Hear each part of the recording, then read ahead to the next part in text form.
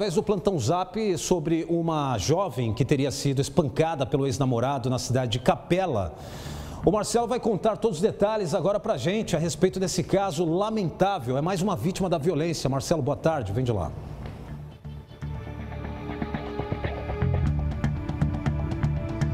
Exatamente, Fábio. A jovem, identificada como Maria Vitória Vieira dos Santos, 20 anos de idade, ela foi agredida pelo ex-namorado em Capela, segundo informações da família. O ex-companheiro não aceitava o fim do relacionamento e agrediu a jovem de sábado para domingo, com agressões, com golpes, sobretudo na região da cabeça. A violência dessa agressão foi tamanha que foi necessário a internação da Vitória, a vinda dela para o HGE e a posterior internação. A família registrou um boletim de ocorrência contra o ex-companheiro que está foragido. Nós temos um vídeo de uma familiar da Vitória que confirma essas informações, que confirma essa possível motivação de que o homem não aceitava o fim do relacionamento e que por isso agrediu a vítima e é o que a gente acompanha agora.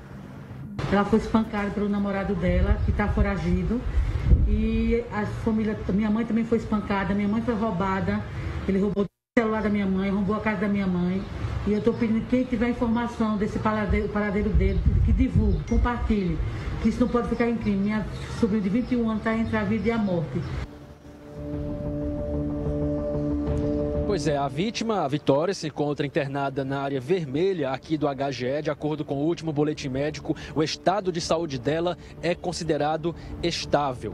A Polícia Civil, por meio de nota, informou que está investigando o caso, pois o boletim de ocorrência foi registrado e essa investigação está a cargo da delegacia de Capela. Como eu mencionei, o homem que agrediu essa jovem permanece foragido e é procurado pela polícia. Fábio. Obrigado, Marcelo. O homem não. O covarde canalha que está foragido, né? E a polícia está no encalço desse vagabundo e a gente fica torcendo o mais rápido possível que coloque esse covarde atrás das grades. Viram como é que ficou o rosto da menina? Um absurdo, né, gente? A gente vai parar onde? Pelo amor de Deus.